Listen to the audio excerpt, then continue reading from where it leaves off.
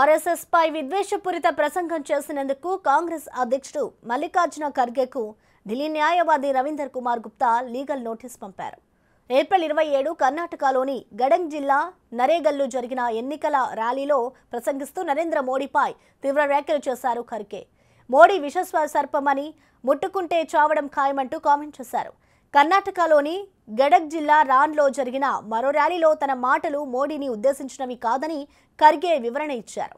అయితే బీజేపీ ఆర్ఎస్ఎస్ను ఉద్దేశించి తాను ఈ వ్యాఖ్యలు చేసినట్లు తెలిపారు ఖర్గే. దీంతో ఖర్గేకు లీగల్ నోటీసులు పంపారు. ఢిల్లీకి చెందిన న్యాయవాది కుమార్ గుప్తా.